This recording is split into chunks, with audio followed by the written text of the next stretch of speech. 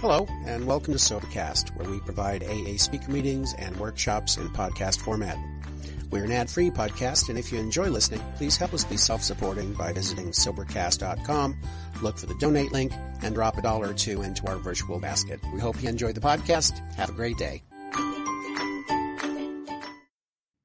Let's welcome our first speaker, Alicia from San Carlos.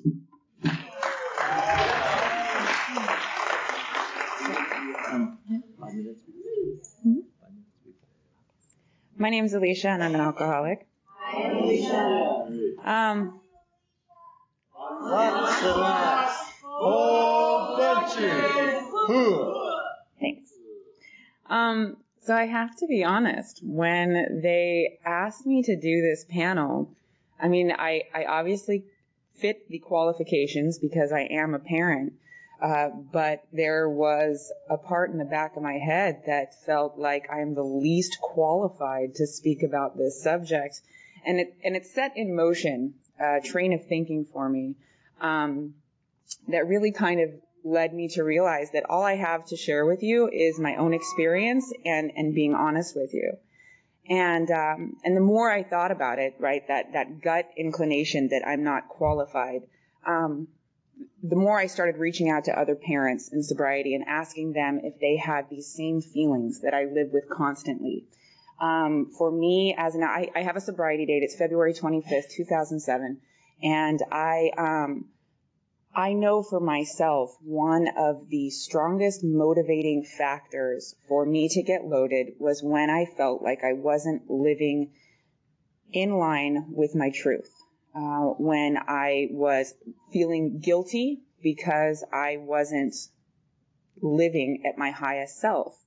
One of the things of being a parent, whether you're an alcoholic or not, because the topic is parenting and YPAA, um, is that it comes with a tremendous amount of guilt. And um, I think many, many parents, no matter how, what you're doing, no matter how much time you're spending, no matter what you're buying, what your what your activities you're engaging in, you're constantly. I know for myself, I'm constantly feeling like I need to do better, and so that led to me feeling like I wasn't qualified to speak on this panel. And when I talked to other people and realized that a lot of other people felt the exact same way, um, that there's this there's this really big balance that has to be found, um, not only in sobriety but in young people's and in parenting. Um, my daughter, I, I, have a daughter. She's 11 years old right now. She'll be 12 next month. Um, if you do the math, that means she was only seven um, when I got sober. That means she saw a lot of my disease. Uh, seven is old enough to do things like cook meals in a microwave for yourself or grab crackers out of the cupboard, and it's also um, old enough to remember some of that behavior. Um, that leaves me with more mother's guilt. Um, and so, you know, I talked to my daughter before before coming here, and I was like, "What what do you have to say about your experience in young people?" And you know, her answer was, "Well, I get a better version of my mom, but I also get less time with my mom." And it's and it's one of those um, it's one of those trade offs. Like I know that when I'm with her, when I have time with her, I'm there fully present, fully wanting to be there, not waiting for that time to be over so that I can go get loaded. But I also know that for me to be there in a healthy way, um, I also have to maintain my sobriety. And um, that has been uh, a struggle for me, not maintaining my sobriety, but finding that balance. Uh, there are a lot of responsibilities that come with parenting if you're if you're if you're doing it effectively, um, and um, you know, there are things that I have to think about, especially when I'm in a room of young people in Alcoholics Anonymous, that uh, that are things that they don't have to think about because um, let, let's be honest, the, the majority of people in in young people AA don't have children. So a majority of them don't understand the to-do list that's constantly going on in the back of my head. Um, and so it's easy for them to say, well, why can't you just come out and, ha- and hang out at coffee until 2 a.m.? Well, there's school in the morning.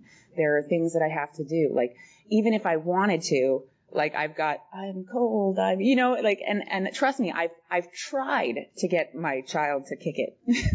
and, um, and, and, you know, she's of the age where, where, where she'll speak up. And, um, you know, and that's why, like, I feel like I have gone from one extreme to the other and back and forth. So I guess I do have some experience to share with you in that respect. Um, I served for three years on a committee in Santa Clara County, um, a, a, different uh, number of positions. One of those positions being uh, the chairperson, which takes a lot of time. You're spending a lot more time with people.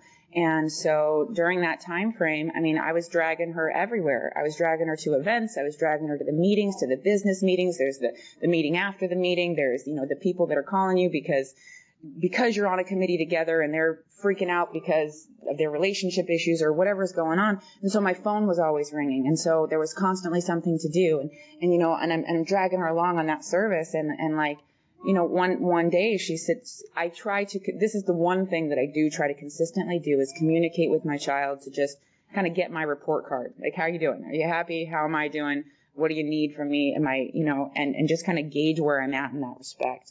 And, um, it's, it's like a punch in the gut when your child tells you that they feel like you don't, they don't, you don't have time for them. And, um, it became very apparent after that conversation that I needed to change some things. And so I took a huge step back from young people's committees, um, completely removing myself from young people's committees and really trying to focus more on my parenting. And then I found myself in a place where I was again feeling lonely and isolated. And, um, and that's not fun either. And so, um, this, this is what led to this conflict and feeling like I, um, I, I have yet to maintain any kind of, uh, knowledge or wisdom to pass on to you other than for me this is a this is a, day by day decision um, that I have to make on where my time goes. Um, I I'm I'm a single mom. Her her her father's serving life in prison. One of one of the things that led to my sobriety um, was that whole encounter um, that led him to to being struck out. And so I'm very grateful for the situation. Um, that man was very abusive. It's probably best that he's completely removed from our life. Um, but you know, it, there are times where it would be nice to have more input. And so what I'm saying is I'm a single parent in sobriety. And so I also have to work full time. And so, you know, so there's, there's a lot, and and I hope this doesn't come across as like me trying to throw a pity party. What I'm trying, the message that I'm trying to convey to you is that if you're out there and you're struggling with things like um, balancing work with parenting, with your friendships, with your sobriety, with your family, with your relationship, um, yeah, me too. and so, and so, you know, it's like constantly a struggle. You know, they have that circus act where they've got the plates spinning on the little sticks all the time, you know, and like, I feel like I'm constantly going back to like fix which plate's spinning. And I can't tell you that like I keep them spinning all the time. Sometimes I feel like they all go crashing to the floor and then I gotta go, you know, start over with new plates and, and new perspective and, and new motivations. And, um, so if there's anything that I can pass on to you, you know, uh, before I'm done, um, it's that if you're struggling with that time management and finding that balance, I, I think that that's kind of the norm. Um, I talk to other women um, in young peoples that have children and all different ages, and uh, it seems like we have that that commonality. Like I, I I can't excel in one of those areas. I've kind of got to spread my time out between all of those areas. And uh, it, I really, what I rely on is my God conscience that I've developed over the years of sobriety um, to kind of to kind of guide me on what needs attention at this point in time, like what what needs the most attention now. Um, I remember the very first meeting I came into, the very very first meeting. Didn't even know what a sponsor was. You know, somebody mentioned a step in, in, in a meeting, and I had to look at the wall to see what step they were talking about. And uh, after my very first meeting, I, brought my daughter with me, and it was ironically it was a women's meeting. And uh, a woman came up to me after that meeting and told me um, it was very disrespectful of you to bring your daughter to this meeting because there were people that wanted to share and say things that they couldn't have said because your child was in the room. And um, and I was, I totally felt like I disrespected AA and like I would never be invited back. And like, thank God for the people that really understand what's going on because a woman caught me at the door and was like, screw that woman. Like, that's not what we do around here. You know, and, and I think like it's very, very, um, when I hear a baby cry in a meeting, the last thing that I do is get annoyed or frustrated or want to shush that baby. I understand parents need to get sober too. I don't think a lot of people understand that. I, I do hear a lot of the, oh, why are they bringing their kid into a meeting? why do you think they're bringing their kid into a meeting? Would you rather have a drug addict, alcoholic mom neglecting her baby so she can go slam dope in the corner or go slam a fifth of vodka in the corner? I think I think that there's a lot of perspective sometimes that you know there's there's I don't think it's that we don't understand what their thinking is. Because I know I participated in that before I was a mom. Like, God, shut your kid up, you know? Until you're on the other side and you're like, oh, I can't.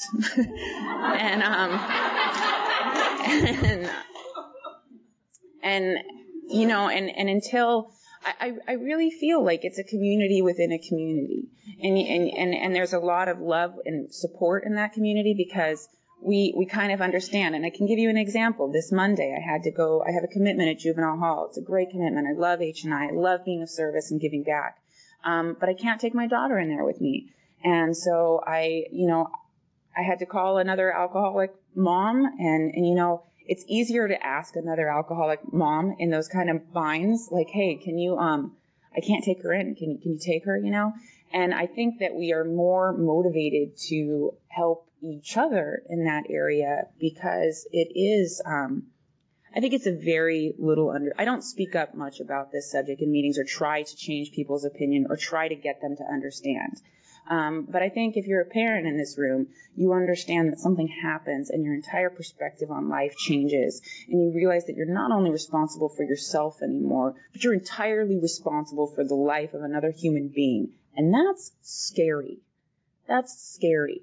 Her well-being relies on me, and I can't even keep myself well 100% of the time. And um, I think that it is, it affects all of my defects, trying to be the best parent that I can be. Um, because I want to, what I've realized, um, there is that urge. Yeah, I want to go hang out at 11. Yeah, I want, I want to go do this and that and, and not worry about the responsibilities. And I want to, you know, take her out of school and go on vacations and this and that. And, um, what I've realized is that I can apply a lot of the principles I've been taught for sobriety um, I, you know, I can treat her like a principal, you know, and I, they, I've been told over the years that, you know, winners do what they have to, losers do what they want to. There's a lot of stuff I want to do, but there's a lot of stuff I have to do. And, and the reason that I have to do that is because I've, I've done it on the other side where I've done what I've wanted to do. And then I was left with a worse feeling because I wasn't being true to myself. And for me, I know today that being a good parent, um, trumps, uh, some things in in young people's in Alcoholics Anonymous. Um, there are a lot of you know late night gatherings that I, I no longer participate in um, because I I used to and uh, because I want to be a better parent because I want to give her more structure and more more of a routine. Um, one of the tools that I use to uh, to assist with that, um, so that I don't feel because I one of the the other um, the other side of that as well is also that that fear of resenting my child for that that that I have to uh, you know and and I think it's such a delicate subject but but there is that fear that I will feel hurt that I have to have this responsibility even though I know how much of a joy it is to me. And um, that's why I have to make sure that I do take care of myself and that I can't completely neglect that side of things uh, what I've found is the phone is a really useful tool for those types of scenarios. I can still maintain communication with uh, young people's and Alcoholics Anonymous, the friendships that I made in the beginning, and keep those alive um, while still being at home with my child. And I, I, you know, one of the things that I do because, in an effort to make sure that I am not neglecting her needs Um, and this started in sobriety. Actually, it started before, but it fell off. Um, but every Wednesday is mother daughter date night, and no phones are allowed. And it, the only point is just that it's her and I together, and we do something. And we've done everything from run around boat docks to go to Sky High, which is a place with a bunch of trampolines, to have a picnic in the park, just whatever, just as long as her and I are together. And I just I talk to her and I listen to her, and um, and that helps me feel better. Like I do it for her, but on the other side, it helps me feel better. Um, I think that I know for myself, I'm extremely hard on myself. So I'm constantly striving to become a better person, to be more uh, me at my best. I'm constantly striving to be me at my best. And um, I feel like I fall short a lot of the time from being the parent that I want to be. And um, I don't know uh, a parent that I can name that hasn't told me they feel the same.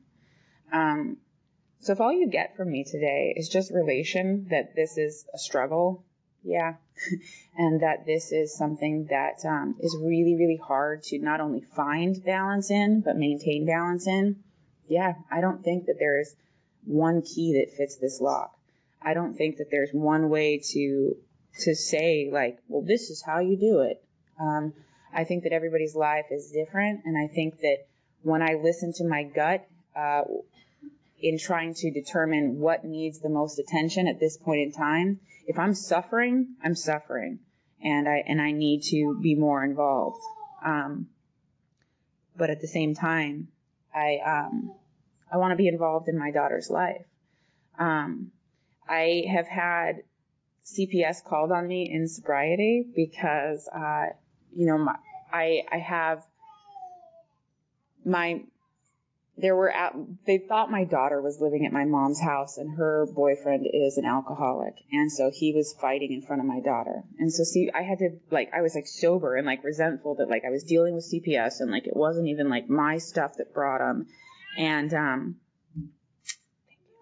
and um and you know like all of the things that we have to you know the like in in life like there's no fear of like like an authority coming and like taking like my sanity away you know like an authority. But like when you're a parent there is an authority that will come and, and take your baby away.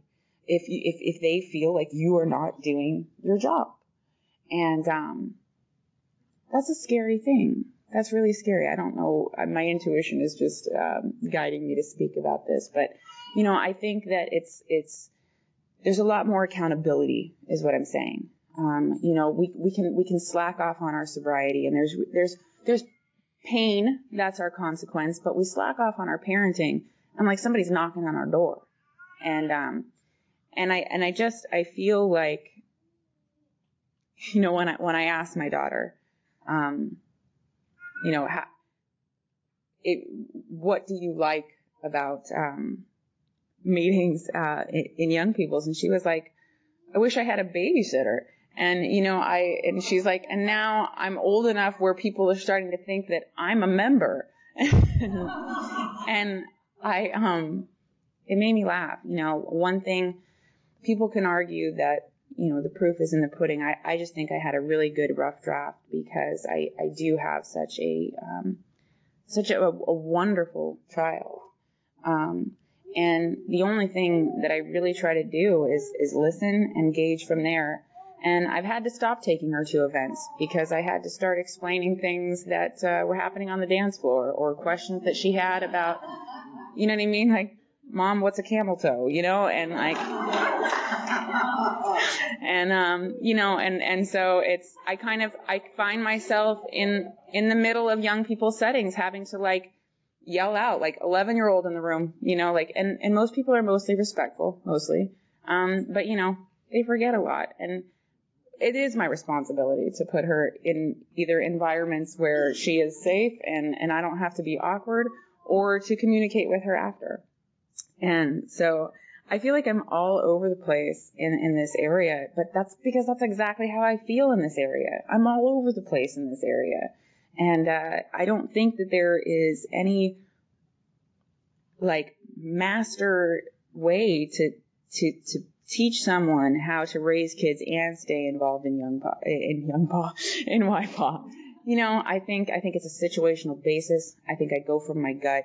I think I know that as long as I'm I'm paying attention to the the, the staples of my sobriety, the book, The Power of the People, um, to maintain my sobriety, and I'm paying attention when I need to step that up, um, then I always find my way somehow.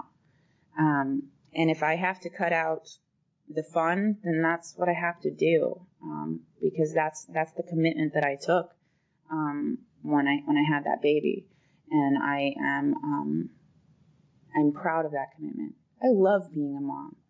Like I I remember like I was a weird eight year old like walking around like I want to be artificially inseminated as soon as I can. Like who who says that?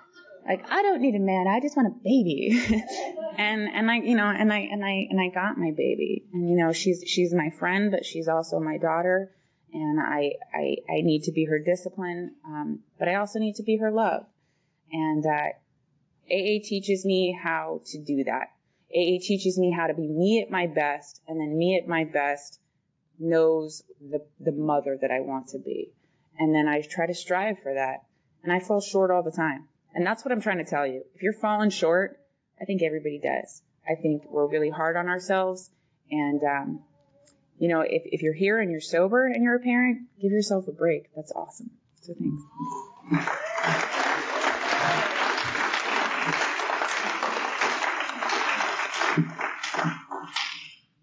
Let's welcome our second speaker, uh, Gino F. from Sacramento.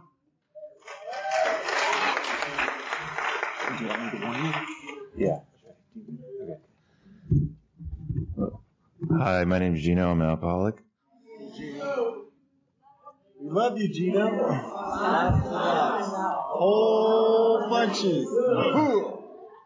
I like that. Um, so um, I'm an alcoholic, and my sobriety. I have a sobriety date. It's November 1st, 2010. I have a sponsor. I work the 12 steps, and I'm starting to sponsor people as well. And I have a home group. It's uh, Daily Attitude Adjustment in Sacramento, California. Um, where do I start? Oh, I have a nine-year-old daughter too. We'll talk more about her later. Um, so I was um, once one of the once one of the kids in the rooms of like Alcoholics Anonymous and Narcotics Anonymous and Al-Anon and stuff.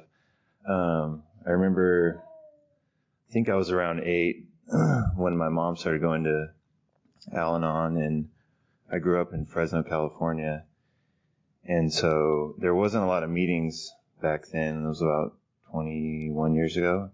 Um, but I was one of those kids who went to Alateen and all that stuff, and like, I don't even really remember much of like what happened. I think I remember them like having me draw the house and like the window and all that, like, but that's kind of like where I started out at, and with my experience with Alcoholics Anonymous and that stuff. Um, so, uh, fast forward about 20 years or so. Um, when I was 19, I found out I was gonna, um, I was gonna have my, uh, my daughter and, uh, I was living in San Francisco and partying all the time and, uh, I had to like do a big, do some big changes and I thought my idea of that was just like getting work, starting work and getting an apartment and like basically like trying to buckle down and, um, I did all that. Like I got, I started working and um, doing all like being being my idea of responsible, but that was also still going out all the time with my friends and partying. And uh, my daughter was born um, January twentieth, two thousand one, and or two thousand two, excuse me.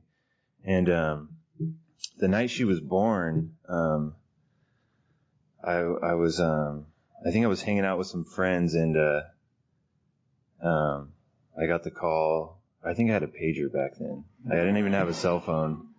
I was kind of late on that. I didn't have a car either or a driver's license, so I was out doing something, and uh, I got the page. So, uh, so I got to go to the hospital, and uh, um, you know, she's born, and I'm like, this is fucking crazy. Excuse me.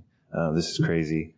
And, um, so we, you know, that, that all happens and I'm like, all right, well, I'm going to go home and like, you know, I'm going to go meet up with some friends and celebrate at like six in the morning. Like, so like right as soon, right off the gate, you know, like I was, like, I, I mean, I've always been selfish and that was, I, I was thinking about, oh, the reason why I'm talking about it, cause I was thinking about it driving up here yesterday and I, I was in the car and actually started to cry because, um, it like, I was thinking about what I'm going to talk about here and I'm like, I don't, you know, I'm kind of nervous and I was nervous yesterday and I didn't really know. And I started thinking about, you know, the day she was born and the things I did. And, um, it just kind of, it made me be grateful for where I'm at today. Um, and that I don't have to do that anymore. Um, so that was just the beginning, you know, when she was born, you know, I, I, I left, you know, immediately to go get loaded and, um, didn't really think it was a big deal. Um, and that continued on, um, for, uh, eight years. Um, I, um, you know, I always had a, a steady job and, um, a place for, um, for my daughter. She always had her own room at my house. Um, I always took care of her. I got her to school, but I wasn't really like present for what was going on in her life. Uh, it was kind of like, you know, I remember like simple things like her wanting me to like play like play house or like um drawing and reading books to her and it would be like yeah yeah like I'll do it. Or if I was reading to her like I wouldn't be reading to her. I'd be like thinking about myself and like just reading words in the book and like not really paying attention to her and like that was that was like where I was at for a long time. And um so I don't really have a lot of experience being a, a um, a sober parent, I guess, because most of the time I was loaded. But since um, since I've gotten sober, um, I've noticed that what what AA has taught me is that um, I can now I can be there for her and I can pay attention.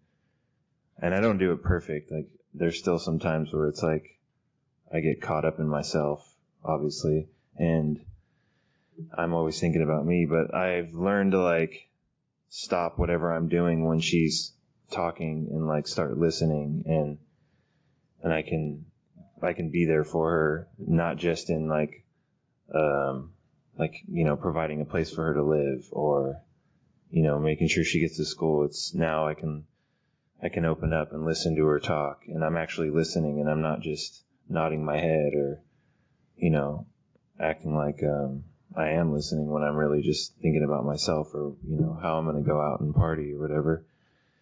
And, um, she also goes to meetings with me and she's definitely not feeling it by now. Um, she's like, she pretty much goes, we gotta go to, I'm all, let's go, we're gonna go to a meeting. And she's like, oh, do we have to, do I have to go? And like, she, and she's, I mean, she's really polite when she goes, but it's like, she's definitely not into it. And I've like tried to explain to her like, like lightly, like, well, if, you know, you want, I don't, I don't know how like I said it, but I was like, if you want me to keep being the way I am, then, you know, this is what I gotta do. she doesn't really get it, I don't think. Like, but I think she notices, like, I, I know like, um, like I would always like promise her things that I would do with her and like I would always fall short of that and like those are things like now I get to do with her. Like I finally like took her to Disneyland and like I've been telling her that since, you know, she was five. And so it's like, and she's been, she doesn't forget, like she holds me accountable for this shit, you know, and it's like, and I finally did it like in sobriety, like imagine that. Um, and it's, it's, it's pretty tight. Like, and, uh, so those are things that I would never, that I would never do before, you know, like, and I, and when I took her to Disneyland, it was like, I got to be present, you know, like, I was actually like having fun and like enjoying myself. Like if I would have went when I was loaded, like it would have just been like, when are we going to leave, you know, and like, not, I, I would have probably been like sneaking off somewhere to like try to get a drink or like made her sit and have drinks with me or something. So, you know, and I mean, that's the kind of stuff I did before, you know, like if I was going to take her, uh, if I was going to read her, uh, a bedtime story is like, I'd put my beer down on like the windowsill first and then read her a story. But that's not, that's not how it is today. And it's, it feels good, you know, and it's like, like, uh, I can really relate to what, um, Alicia, what Alicia was saying, um, about getting the calls from your friends and like they ask you to do things and they want to go out and they want to hang out. And it's like, I'm constantly like on, like I'm a pretty much a full-time father. Um, I have my daughter during the school year and she goes to her mom's like off and on on the weekends and during the summer. So I'm always having to like cancel or not even make plans to do a lot of things in, in YPAA events or in just normal life events. You know, it's like, and my friend, even my friends, like, like most of them understand, but a lot of them are still like giving me shit about it. And it's like, this is what I signed up for, you know, and, and I enjoy it though. It's like, I'm glad, like, I actually like to be home now and like to enjoy my time, like being a dad as like before, like I would always be able to like figure out plans, like to get a babysitter to go party and stuff. And now it's like, if I don't, if I can't make it, like I don't really worry about figuring out plans to get a babysitter to go hang out or whatever because I, I, you know, I enjoy my time with her now and I'm actually there and that's what you guys have taught me. Um, that's what AA has taught me and I'm just, I'm really grateful for it and like, um,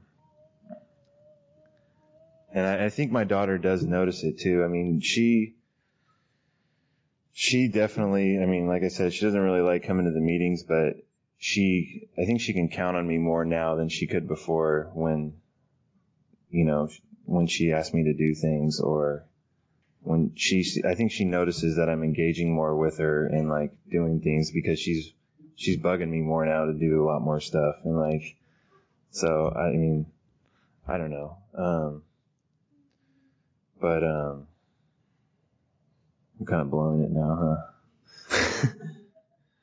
um, and like as far as like going like I've I've had to like since since it I know it's like rough going to meetings and bringing her so like I've been like getting up really early and going to meetings like there's a morning meeting like probably a mile away from my house and so like I'll get up super early and go to that at 6:30 and be back by 7:30 and then get her up and get her ready for school and take her to school. And it's kind of a good solution for uh, I found it to be a good solution for my recovery and not oh, to always have to like bring her into it um since you know like it's she doesn't really she doesn't like going to the meetings so that's been like what I've been doing or what I try to do during the school year summer's been I've been had the summer free so I've been like blowing it and sleeping in every day but my schedule's a bit off right now um but as far as like parenting, and I don't really have a lot of experience, lot of experience, but the, the short experience that I do have has been good. Uh, and I don't really have like a lot of friends that are um, that are parents in uh, young people's and Alcoholics Anonymous. So like sitting here listening to um, to Alicia speak and and the fact that there's actually a, a, a meeting and a panel on it is that I'm like I was sitting here and thinking like wow like I really there's a reason why I'm here. I really need to hear this and like need to hear what everybody has to say and like I would never have thought of that like normally. I mean like people are like oh like they're like oh you have a daughter and like I'm all yeah and like I met like a few people in AA that have kids and they're mostly they're mostly older and like that's what we relate with far you know beyond being alcoholics is being you know having kids and, and alcoholics anonymous and being sober and like doing it and it's like like I don't really share that with a lot of young people. There's not a lot of young parents, but um I mean I'm, I'm it's kind of tight that there is actually a meeting for this because like I wouldn't like I'm like I said I wouldn't have thought of it to be like, you know, something that there would be a topic on. And um, I'm kind of running out of things to say here. I don't really. Do how much time do I have left? Okay. Well, I think I'm done because I'm like kind of getting repetitive here. But thanks for showing up. Uh, thank you. Let's welcome our third speaker, Michelle G. from Silver Springs, Maryland. Thank you. What? Sure. Hi, my name is Michelle and I'm an alcoholic. Thank you. Uh, my sobriety date is July 4th, 1991, and my home group's the Happy, Joyous, and Free Young People's Group. We meet in Silver Spring, Maryland, and Silver Spring, like with no S's, like one spring. And, uh, we meet on Sunday nights at 7.30, and we have childcare. So, uh, that's the first thing I want to let you know. But I do want to let you know a little bit about myself, um, so you understand how amazing it is that I'm a parent and allowed to, like, take care of anyone. Okay? because um I mean really. So I got sober in high school and I come from a alcoholic uh, my father's an alcoholic, my family's alcoholic and um I'm half Puerto Rican and I'm half Peruvian. So like culturally we do that and I understand like the Irish are very similar and uh so it wasn't like so it wasn't a big deal. You know, it wasn't a big deal that uh people drank, you know. Um the kids in my family, and it still goes on, they kind of just, we drink, you know, it's at the table. Everyone gets a glass of wine. You take it if you want. You pass it if you don't. Not a big deal. And really no, you know, there's no age restriction. The law doesn't come into our home and we just do what we want. So, um, so for me, my alcoholism started, I don't have this huge story about what it was like when I first started drinking or my first drink. I just always drank. I just always remember um, drinking, and it was always a part of my life. And so when I did get sober, I, like I said, I, I got sober in high school when I was really, it was like, it was like all these AA circumstances were like caving in on me, you know? And I'm going to just kind of give you a synopsis of my story because I really do want to speak about the topic because it's an important one that I think is overlooked a lot. And what occurred for me is that I, I was, I was literally like dying. You know, I was 30 pounds less than I am now. I was losing my hair and I wasn't eating. And it wasn't because I had an eating disorder, because I know a lot of us come in here dually diagnosed and I have the utmost respect for that. I just wasn't eating because I was drinking. Okay. And, um, and that's what happened. And I was already kicked out of my fourth school and I was already, you know, pretty much taking like vacations from my house. And, uh, and I just and my household was just pretty much involved in alcoholism. So I wasn't, I was pretty much overlooked. And, uh, now I can let you know that, and really it's as a result of the steps, that I can let you know that my parents did the best they could. And I really sincerely mean that. They did the best they could with what they had. And I love them, uh, like, like it's nobody's business. Like I just adore them. And, and there's still a lot of alcoholism that goes on in my household. So, all right. So what happened is I, I had this guidance counselor, Mrs. Bowman, and I'll never forget her. She had like blue hair, this English accent. She was awesome. And she never lost contact with me. You know how like you get sober and like, or like you're getting ready to get sober and like you get those phone numbers and you never lose them even when you, you know you threw it away, you know, cause you're never going to really call them. It was like that. Like I never lost her number. And she, I called her you know, I kept in touch with her. She kept in touch with me. She wanted to know I was okay, that I was alive, you know, and, and at this point I was trying to figure out, you know, what, what I was going to do. Like, what, what's going on? Like, I'm still in high school. I, uh, have this big hole that's like getting bigger daily and, uh, and I want to die. And I can't figure out how quite to do it. And, uh, a little too scared, not really sure. And, you know, I, I called her and I remember letting her know, like, this is where I'm at. This is what I'm going to do. And at that point, I already shared that with my family and, uh, the response because there's a lot of, um, you know, my mom was extremely codependent. She's like, like, like really codependent, like card carrying member, like, like she'd take care of you if you came over. And, uh, like that's, but that's who she was, you know, seriously. And, uh, so she, I said, like, Mom, I want to die. Like, I don't know what it is. I want to die. Um, I can't figure it out. And, uh, and she patted me on the knee. She's like, you're going to grow out of this. And, uh, and you'll be just fine. And I, meanwhile, I'm like, I want to put my head through the windshield because we're sitting in the car because she didn't get it. You know, and that was my, life. that's what I felt like my life story at that point was like, you don't get it. So I contacted Mrs. Bowman and what she said was, um, we're to, um, I'm to send someone over to talk to you. And what she did, she sent over, she was like 17, this girl. And, uh, and she, okay, it talks about in the book where we're not like people who normally mix. Okay, well, this is, this is true for this. So this girl who was like, she had really long hair, she had a daisy behind her ear, she had love beads and moccasins, comes bouncing up my step, and I literally opened up the door and I, I couldn't believe this who you sent me. And, um, so she was like this like hardcore hippie, and I was like, I was like J Lo on the block. Okay, like that's what I was like. You're kidding me. I mean, I'm confident I had like the earrings down, like, yeah, they were like, all right, so, so that's who I was. And you sent me the love child, and uh, she, she just, uh, I had no idea. I had no idea that what you were like, what I was getting into, and thank God, because she, um, she just brought me to meetings, and I went to young people's, I went to a young people's meeting, and she let me know, and she just let me know this is how we do things. You know, she's very hardcore with me. She was not all that hippie stuff went out the window. Um, she broke it down really, and I'm just going to let you know how it was because I only have a little bit of time. But as she let me know, this is, and I need, I was trying to get into a day treatment program, and they were very smart. They said you need to have a sponsor before you get into this program. So I didn't know, so I asked, and she said I'll sponsor you, no problem. And this is where she turned on me.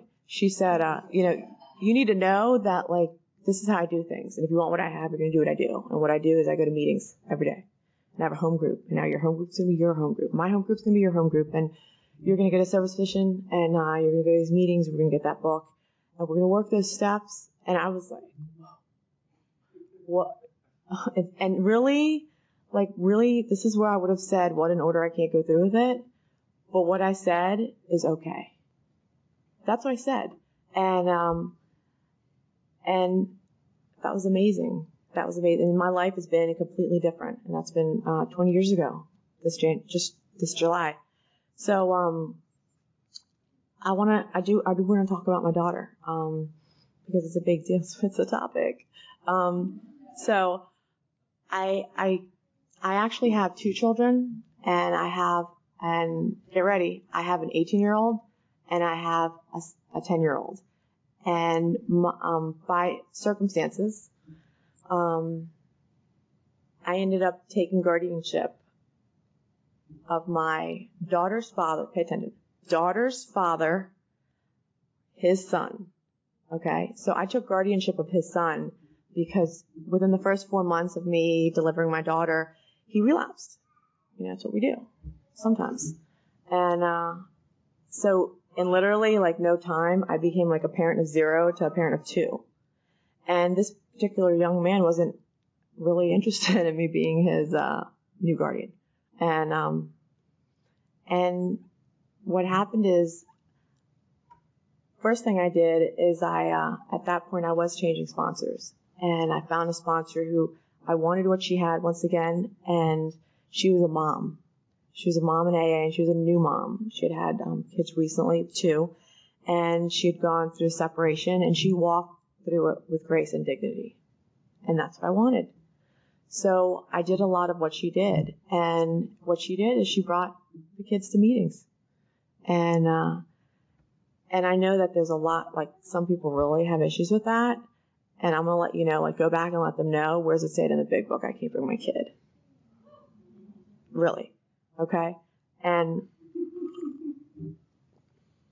that for me is a big deal.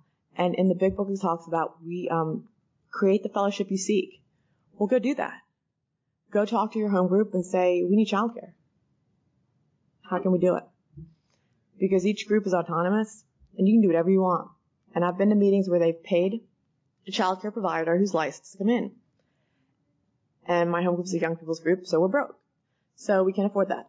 So we have volunteers who, um, from the group, who volunteer 30 minutes of their time. And that's how it works. And sometimes we have eight kids and sometimes we have no kids. So that's, you know, be a trailblazer. Do it. You know, and I, I firmly believe that because you'll hear, and I think we heard it last night, you'll hear in the rooms that you young people are the future. I agree, but the younger people are the future, you know, and that's the kids because I don't know, but if you look at the numbers, um, I'm pretty certain that the number of kids who are alcoholic, who have alcoholic parents, are pretty big. And um, and I know for me, it was very difficult for me to maneuver. And, you know, I really commend anyone who does it stay involved in young people's service with two kids. And what I did is I brought them everywhere. Um, currently, I'm I've served like on every YPAA position in my like state, and I've served also in area service uh, commitments. And I always welcome the people with kids, and it's going to take the people with um, it really is going to take the people who who almost not, I don't want to say well known in meetings, but at least if you're a home group member, your weight certainly carries something if you're going to say no, they're welcome.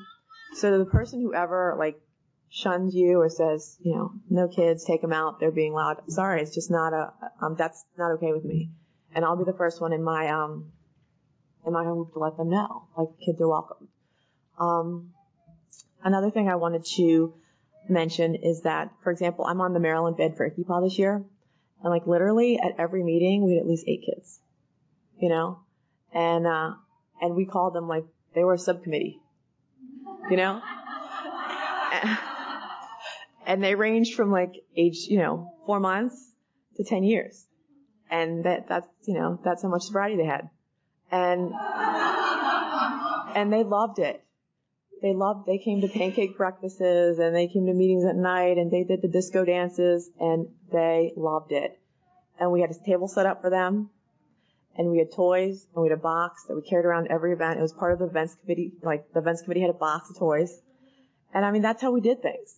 Like, so if you're the only one who's a kid in a meeting and like you need help, like the, there's other people in other states and other areas doing it. So you're not alone. You're not alone.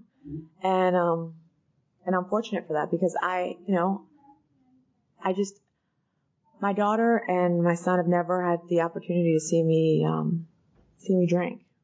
And, uh, and if it, if it comes down to like, I gotta get to a meeting, but I got my kid, I'm going to a meeting. And that's it. I brought other people's kids to meetings because I needed a meeting. You know, like that, like, yeah. I was a nanny at one point in uh, college and I was like, I brought all the kids. I mean, and you know, and really to let you know, like, I didn't come in there and like give them drum sets to play. You know, I went in there with a plan. Like my daughter has her little like meeting bag that she can only touch those toys while we're in a meeting and they're like cool. So she knows like meeting special time because she gets to only touch the meeting bag during meetings. And like that's, you gotta be creative, you know, um, and it's hard. And um, I just I love hearing I love hearing your stories because that's that's fantastic to be to be young and sober and be in AA and continue on. I mean that's it's a big deal. It's a big deal. And um, the last thing because uh, I I do I am running out of time. Am I running out of time? What time does this end? Oh, okay. Sorry. Um, so my I like I do like to share about my kids because. Uh, my my son, who he's my son. I raised him. I raised him for uh, ten years. His his father got sober, and uh, he now has six years, seven years in in the fellowship. And we don't we raise the children together. We don't we don't live together. We're not together. He's no longer my boo, and uh, and he you know, but we have a common respect. And we've also drawn up some guidelines about what meetings we feel like it's appropriate to bring the kids to and what it's not, you know, and that's something we've been able to work together. And that's only as a result of the steps. Seriously, because there's no way when we first separated that that, w- that was like, you know, it was like who got custody of the meetings, you know? And you know what I'm talking about. I mean, that stuff happens. So this year, my, my son, he came to me and he was like, I want to, I want to go live with my dad. And that was like a huge deal because I'd raised, like, I'd raised him. He'd never wanted to go live with his dad. And he wasn't even like visiting his dad. And, um, so this year, right before his 18th birthday, he said, you know, I want to go live with my dad. And, and I was like, I just, it was, I, you know, I, I totally wanted to be supportive, but it was like, I wanted to hold on because he's my kid. And I really, I really had to turn to the other parents in the program and talk to them about it. And I really had, I wanted to be the one who walked through this with grace and dignity. And what I came to terms with was that, you know what? He's got his own higher power. These kids have got their own higher power. And I let him go with love. And I just said, you know what? If this is what you want to do, I'm going to totally support it. And I can't tell you, those are really what I was thinking, but that is what came out of my mouth. And um and sometimes it's like I just had to do the footwork. I just had to act as if and I totally did. But um but it worked. And he's okay and he's safe, you know, and and that's fine. And um and my daughter, she's now 10 and she's like she's skeptical of you all sometimes. You know, she doesn't understand why like sometimes she'll see someone staying on our couch and they'll be there for a couple days and they'll be gone. You know, and like, you know, she, like, she just, she asks questions, and I answer them appropriately, and I, you know, it's just an open dialogue. I mean, cause really, what's an infant supposed to do? Go to Al-Anon? Like, where are they gonna go? You know? I mean, they gotta come to the meetings. What are you gonna do? And in my area, Al, Alateen and Alatot, they're not prevalent. And I don't have time to create them yet, you know? And so, I'm gonna do what I need to do to stay sober. And as long as you remember your primary purpose, as long as I remember my primary purpose, it, it's gonna work out. And it is, it is a balance. And so, if there's anything I can offer that we can close with that I can let you all know is that, you know what? Seriously, as long as you keep your primary purpose in check, there's a solution to this and anything else, you know? So, thank you so much for asking me to share.